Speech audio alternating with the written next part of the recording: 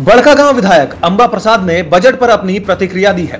केंद्र सरकार द्वारा वार्षिक बजट के खिलाफ प्रतिक्रिया देते हुए अंबा प्रसाद ने कहा कि मोदी सरकार का यह बजट मुंगेरी लाल के हसीन सपने जैसा प्रतीत होता है। उन्होंने कहा कि कोरोना काल के दौरान बेरोजगारी चरम सीमा पर है। युवाओं को रोज़गार के लिए सड़कों पर उतरना पड़ा है। महँगाई ने गरीबों का जीना दुर्भर कर दिया है। महँगाई के इस दौर में गरीबों और मध्यम वर्ग के लिए किसी भी तरह का राहत नहीं है। यह एक ऐसा बजट है जो भारत को 25 साल और पीछे करने जा रही है।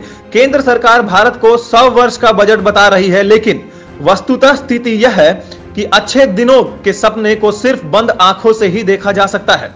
उन्होंने कहा कि पीएम नरेंद्र मोदी और वित्त मंत्री निर्मला सीतारमन ने दैनिक गरीबों, किसानों और मध्यम वर्ग को राहत देने के लिए कुछ नहीं किया है।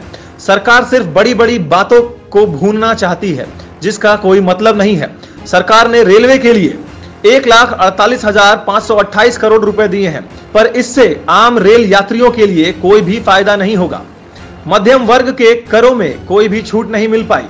और तो और उनके रोज़मर्रा की वस्तुएँ भी महँगे होने से जेब पर उल्टा असर पड़ेगा। ये बजट अच्छे दिनों को और दूर ढकेलता नज़र आ रहा है, तथा भारतवासियों के साथ विश्वासघात किया जा रहा है। आम आदमी के हिस्से में एक बार फिर से मायूसी ही आई है।